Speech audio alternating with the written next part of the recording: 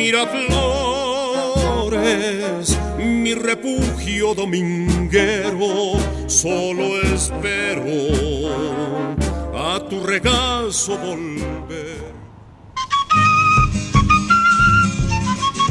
El monumento está ubicado entre la avenida Saavedra y Los Leones. Para 1970 este espacio apenas era eh, un cruce vehicular eh, lleno de tierra. En el lugar se instaló un busto de José Miguel García, nombrado el plebeyo boliviano. En 1980 el municipio, la alcaldía decide construir un, un monumento.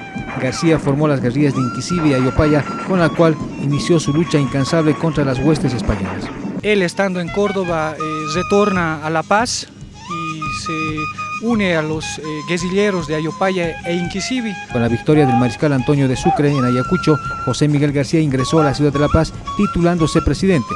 Ingresa a la ciudad con los guerrilleros de Ayopaya e Inquisivi y proclama la independencia de La Paz y él mismo se proclama eh, su primer presidente. José Miguel García es considerado uno de los héroes bolivianos. Fue prefecto del departamento de La Paz y Chuquisaca, además de haber rubricado su firma en el Acta de Independencia del 6 de agosto de 1825.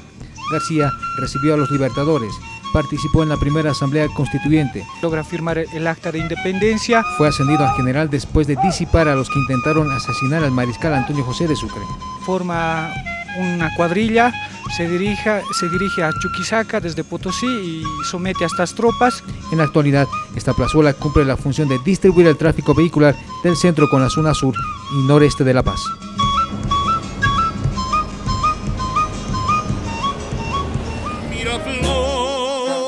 Miraflores, mi refugio dominguero, solo espero a tu regazo volver.